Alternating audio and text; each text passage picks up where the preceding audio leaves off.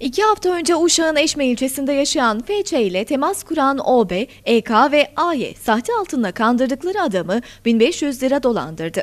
Bir süre sonra tekrar irtibat kurdukları FC'yi çeşitli laflarla kandıran 3 şüpheli aynı yöntemle bir kez daha dolandırmak istedi. FC'ye gerçek olduğunu söyledikleri 2500 adet sahte altını 50 bin lira karşılığında satmaya kalkıştı. İlk olayın ardından şüpheleri takibe alan polis, Dolandırıcı zanlıların FC ile randevulaştığı Durak Mahallesi Şehit Mustafa Kemal Akın Sokak üzerinde operasyon yaptı. Şüpheliler gözaltına alındı. Şüphelerin üst ve otomobilindeki aramalarda sahte altınlara ulaşıldı. Dolandırıcılık, resmi evrakta sahtecilik ve hırsızlık suçlarından sabıkalı olan şüpheliler işlemlerin ardından adliyeye sevk edildi.